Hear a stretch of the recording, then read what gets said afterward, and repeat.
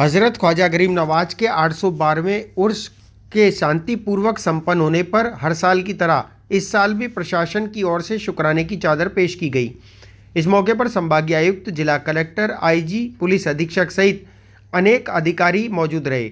शुक्राने की चादर पेश करने के बाद दरगाह अंजुमन सैयद जादगान की ओर से दरगाह के महफिल खाने में पुलिस और प्रशासनिक अधिकारियों की दस्तारबंदी की गई। यहाँ इस दौरान जो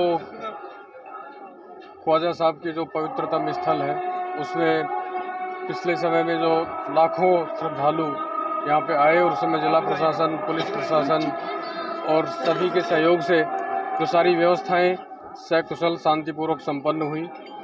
उसके शुक्रिया अदा करने के लिए शुक्राना की तरफ़ से, आज पूरे प्रशासन की तरफ़ से ये चादर चढ़ाई गई है, पेश की गई है।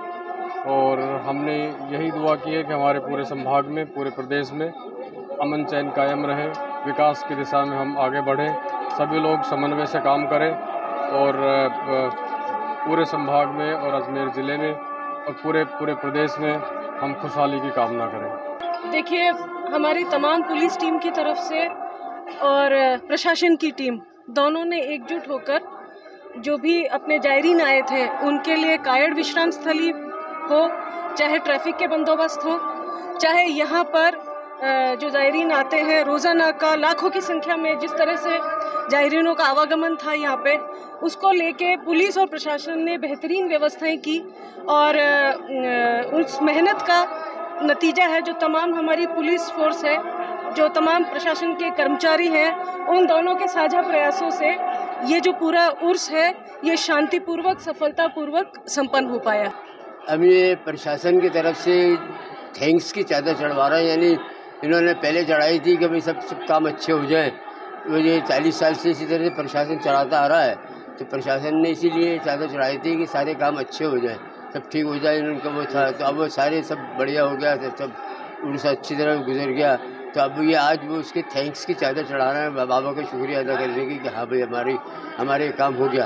तो मैं ये ये चादर जो है करीब चालीस साल से इसी तरह मैं चढ़ाता आ रहा हूँ, सभी प्रशासन की। और इसी तरह से लोग यहाँ पर आके और ये चादर पेश करते हैं। सारे ये यहाँ पर ये रहता है और उनसे इसका इंतज़ाम मैं करता हूँ।